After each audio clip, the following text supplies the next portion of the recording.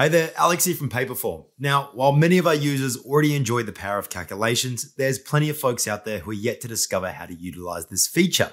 So, join us as we deep dive into calculations and learn how to build more powerful forms.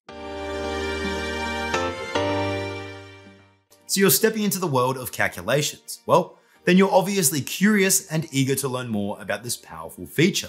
And if you're not, trust me, by the end of this video, you will be. Paperform's calculation field. It is a must-have feature for businesses that need more power from their forms, a perfect solution for those that require unique needs and want to create an engaging experience for their submitters and customers. A calculation field is a type of form field that performs mathematical calculations based on user input. Basically, a calculation field allows you to filter and format your form data, letting you take existing info from your form and outputting something completely new. But when would you or your team use a calculation field? Let's say you have created an order form for your business, and to entice customers to purchase more, you offer free shipping on all orders over $100. Well, you can utilize the calculation field to determine the total price of your customer's order, then remove the shipping fee if the total value is over $100. Or perhaps you're creating a registration form for an event that has a standard attendance fee of $60 per person, but for those that purchase their ticket before June 1st, they receive a 20% discount. You can add a calculation field to the form that captures the current date and applies a discount to the total price if it is before June 1st. But calculations are not just limited to numbers. Maybe you have created a sign up form that prompts the submitter to accept a terms of service agreement. You can add a calculation field that outputs an error message, informing the submitter that they must rectify this while simultaneously disabling the submitter's ability to complete the form. Likewise, if you are creating a form that should only be submitted by those over 18 years of age, you can create a formula that obtains the current date and time and checks it by the submitter's date of birth. If a submitter is under 18, you can utilize form logic to dynamically hide the remaining sections of the form.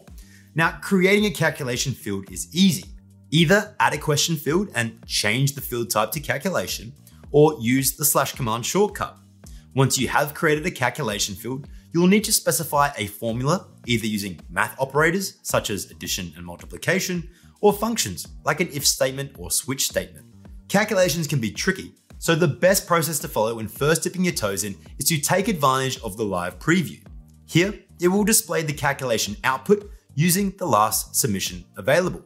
It is also here that an error message will be displayed when your calculation formula is incorrect. To test your calculation formula without fail, it is always best to make your calculation field visible in the form so you can see the end result and start running test submissions to see what value your calculation produces.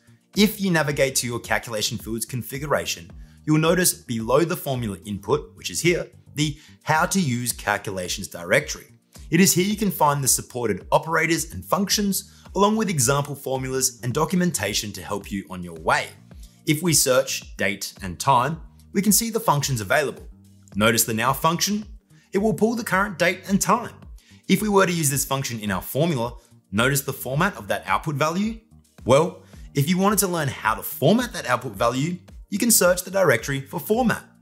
We could then use the date format function and refer to the directory for our formatting options. The basic purpose of a calculation field is to filter and format your data. You can pull in data by selecting the icon to the right of your field's input, which will display a menu with all available data from your form. Or you can type two front-facing curly brackets, then search for the correlating question field. If we make a selection, then navigate to our form's live view, we can now see how the dynamic value appears. Jumping back into the calculation field, you will notice randomized characters inside those curly brackets. This is the prefill key of the question we selected. It is how the server understands what data to use. Hovering over that prefill key or clicking outside of the formula input, it will then display the question title. Pulling in a submitter's response is a process called answer piping. And much like we can use answer piping to pull in and display a submitter's response within our calculation field, we can use answer piping to display our calculation field's output in other places of our form. Let's navigate back to the calculation field's configuration and work together to create some formulas.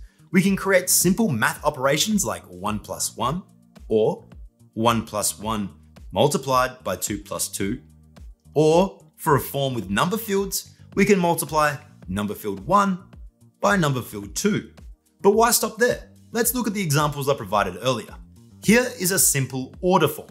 To entice customers to purchase more, I have offered free shipping on all orders over $100. My form contains questions asking for customers' personal details, a product field where they can purchase more than one product, and a price field with a fixed price of $20 that attributes a shipping fee to the form. Let's create a calculation field, and for this example, we will use an if statement. If the total amount of products selected is greater than or equal to 100, then the formula will output a value of 20. If the total amount falls below 100, then 0 will be the output value. We would then navigate to Configure, Payments, and create a custom pricing rule that subtracts the calculation value from the form. Let's look at another example. Here, I have a simple voting form that should only be submitted by those over 18 years of age. My form contains questions prompting the submitter to provide their name, address, and date of birth, but we need to create a calculation field. Okay, so we know how to pull in the submitter's response to the date of birth question, but how can we work out if they are 18? Well, remember the now function? Look at the example formula provided. It has already done the work for us. This particular formula determines if someone born on the 22nd of July 1986 is 18. If they are, then the calculation field will output you can vote. If they are not, then an error function occurs, stopping the respondent from submitting the form, along with the output value, you are too young to vote. Now, here is something that we need to discuss. DOB. No, not specifically the acronym. Within this formula, DOB is a variable and so is age. A variable in a formula is a placeholder. It's a letter, symbol, or characters that represents a value that can change or vary. If I were to change the variable value from the date example provided and use answer piping to pull in the submitter's response to the date of birth question, anywhere I use DOB, the system will understand the value to now be that of the submitter's response. Now, you must end a statement with a semicolon to separate multiple statements. This is to ensure proper execution and logical flow. If we remove the semicolon, notice the error message in our live preview. Something to remember. Don't forget that you can control when the calculation field is visible here, and even apply question visibility logic. If your calculation includes an error function, it will need to be visible in order to disable submissions. Well, that's all from me today. Now it's over to you to begin implementing calculations on your forms. By utilizing the calculation field, it enables you to create more dynamic, interactive, and functional forms. Make sure to check out our calculations cheat sheet as well as our library of calculation templates, which we've linked in the description of this video. For more info on calculations or anything paperform, make sure to check out our help center. And remember, if you can imagine it, you can paperform it.